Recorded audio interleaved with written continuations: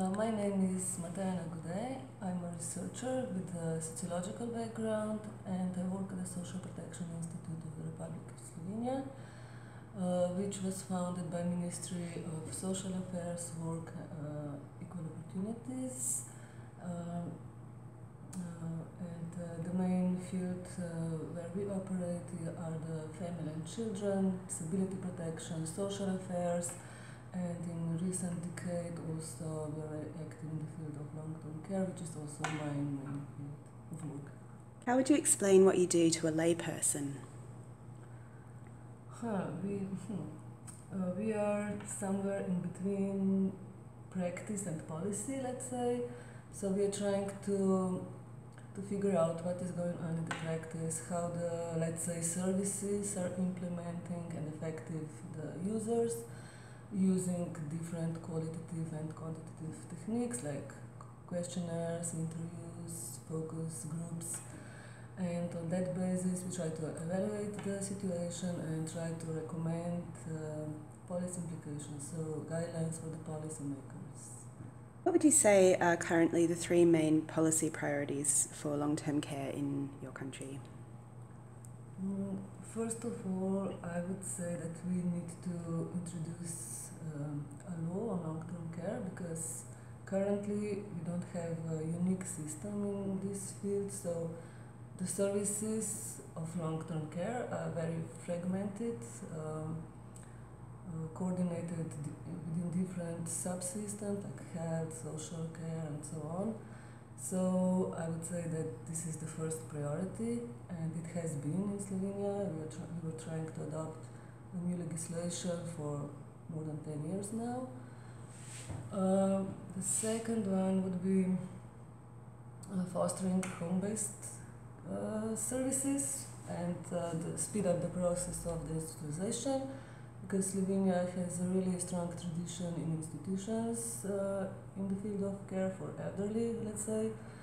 Um, the home care homes for elderly are quite good developed and widely spread on the other side, the services um, delivered at the home of the users are not so uh, pluralized and widespread. So the second one would be certainly to foster the home care-based services.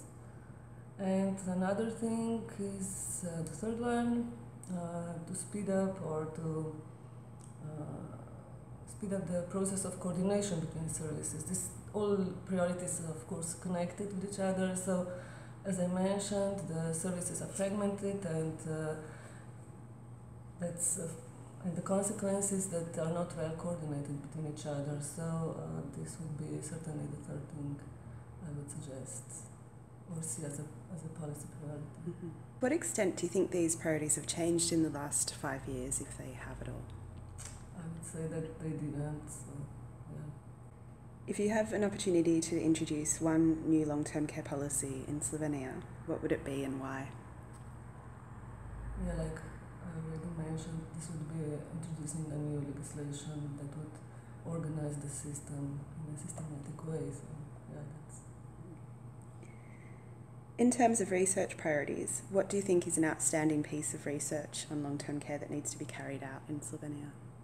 Um, yeah, now we are in a in a period that uh, we can pilot a lot and uh, at the moment I think it's necessary to to pilot to try all new tools, methods, processes that would uh, that could be used in a new uh, s- uh, system, like uh, when introducing new laws. So I think this is the priority, and then uh, do all the researches and evaluation of these uh, proposed, uh, suggested tools, and methods, and uh, the whole process of the new system. Mm-hmm. So I'm going to ask you a few quick questions. I'm looking for a number in response from 1 to 10, where 1 is low and 10 is high.